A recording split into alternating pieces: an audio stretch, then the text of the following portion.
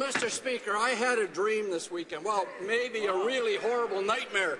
I dreamed I was a Conservative MP. No. Stuck on the assembly line, stuck on the assembly line of misleading statements, like being kids. handed script after script by those kids in the Prime Minister's office. Oh. And then my nightmare, Mr. Speaker, went on.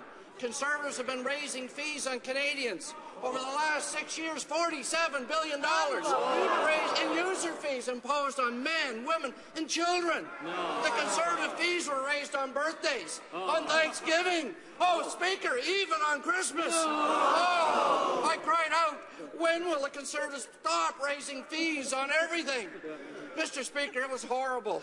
It made me realize how bad I feel for my colleagues across the way who actually have to re repeat over and over so many misleading statements. To my Conservative colleagues, I feel for you. Yeah.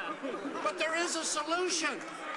Instead of standing up and making things up, just try standing up and repeating the facts. Yeah.